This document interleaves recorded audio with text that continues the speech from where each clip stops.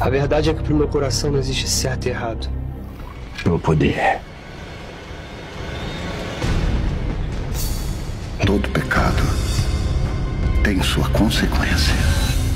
O nome da temporada Consequência é porque nós vamos ver todas as consequências que Davi vai sofrer por causa do pecado, mas não só Davi.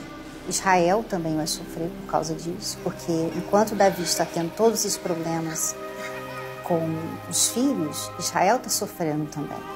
A consequência não é só do Davi, todo mundo que tem a ver com Davi vai sofrer as consequências.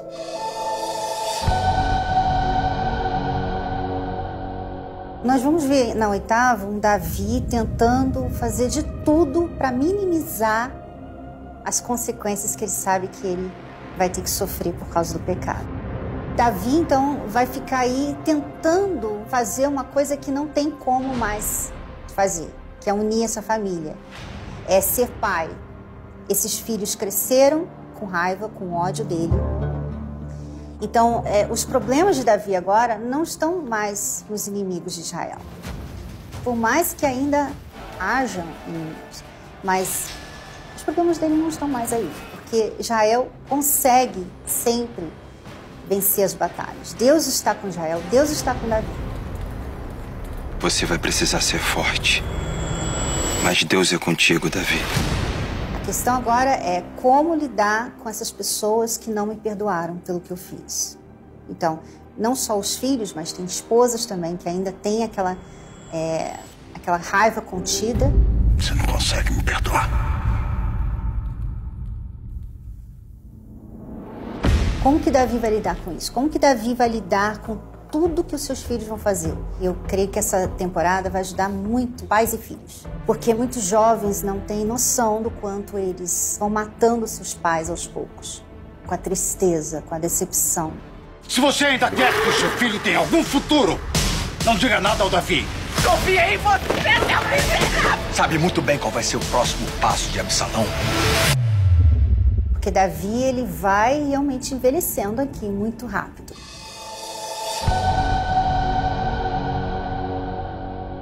Na oitava temporada, Davi vai ter ali uma parceira cúmplice do que tudo que ele viveu, porque ela também está vivendo. Então, assim como ele está arcando com as consequências com os filhos, a raiva, a revolta, os olhares, ela tem que também viver isso com as mulheres de Davi que não aceitam ela, o povo em Jerusalém que também não aceita ela essa culpa que ela carrega, os filhos que sofrem com tudo isso. Então, eles dois têm essa cumplicidade ali. Vamos começar do zero, vamos começar a partir de agora. Vamos virar essa página começar uma história nova.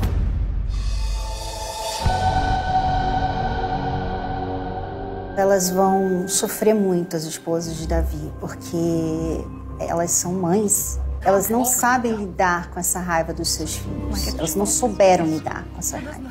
Então, elas não têm discernimento, elas não têm sabedoria. Elas vão sofrer com as consequências também, porque os filhos vão aprontar. Eu sofro muito com eles, porque é uma história real. Se fosse fictícia, eu não ia sofrer tanto. Mas sabendo, e eu acho que é isso que fez muita gente sofrer com Urias, sabendo que isso aconteceu, você sofre mais. E tudo que acontece com Davi agora na oitava temporada, a gente sabendo que isso aconteceu.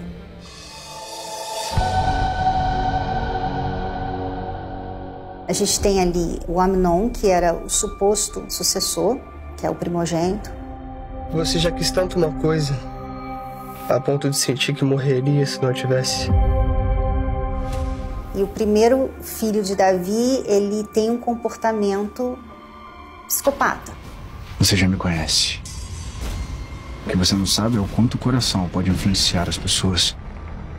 O que elas são capazes de fazer por vingança. O Absalão é essa pessoa que quer o poder. Absalão é essa pessoa.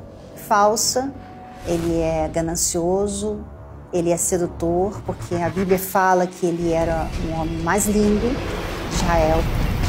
Ele era o bambambam bam, bam de Israel. E Adonias, Adonias está assim, eu vou ser rei, gente, eu vou ser rei. São os três filhos mais velhos de Davi que vão aprontar. Sem contar Tamar, que é vítima do irmão. O que acontece entre eles é horrível. É uma pessoa que cresceu com você.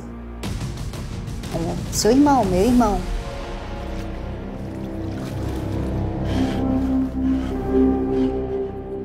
Relação dos filhos mais velhos com os filhos mais novos vai ser triste, porque os mais novos são os filhos da Batseba. Eles são filhos da mulher que o meu pai se afastou por um tempo e cometeu aquela atrocidade.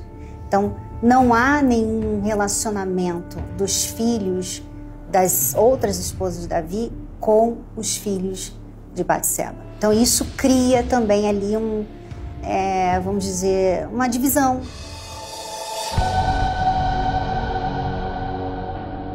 Na oitava temporada, a gente vai conhecer o Salomão jovenzinho, de 15 anos. Então, você não vai conhecer ainda o rei. Mas aí você vai entender melhor Salomão. A gente começa a história já mostrando o Salomão inseguro, é muito assim, sofre muito preconceito com, com os outros irmãos. E Israel, porque ele é filho dela, da Batseba. E a gente já começa a entender da onde veio tanta insegurança de Salomão. Davi, ele não pôde construir porque ele era um homem violento, né? Ele tinha matado muitas pessoas em guerras. E o templo é um lugar santo e Deus queria que fosse construído por uma pessoa que não tivesse sangue nas mãos.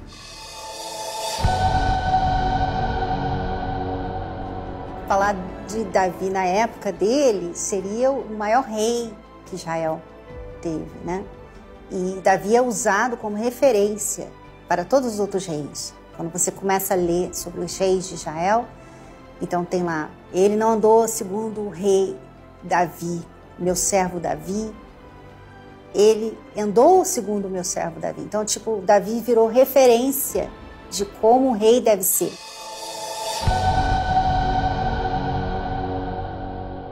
Eu já assisti o primeiro capítulo e eu gostei muito mesmo. Tá bem a narrativa da oitava temporada ela está tensa e a gente sente o clima do palácio o tempo todo. A oitava temporada vai começar com uma festa, mas é uma festa mais interna que Davi faz para os filhos. Ele faz tudo para agradar os filhos, então ele faz uma festa. A gente já começa com uma festa ali que ele faz para os filhos.